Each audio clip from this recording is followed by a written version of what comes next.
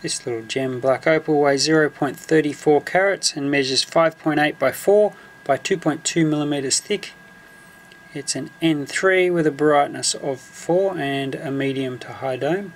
It's gorgeous rolling flash pattern going across the stone of green, yellow and a bit of blue.